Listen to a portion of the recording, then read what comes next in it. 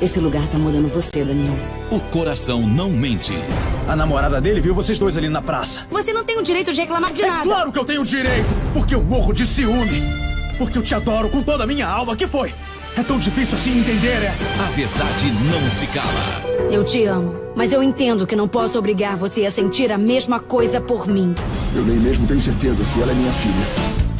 Abismo de Paixão. Nesta segunda, cinco e meia da tarde, no SBT.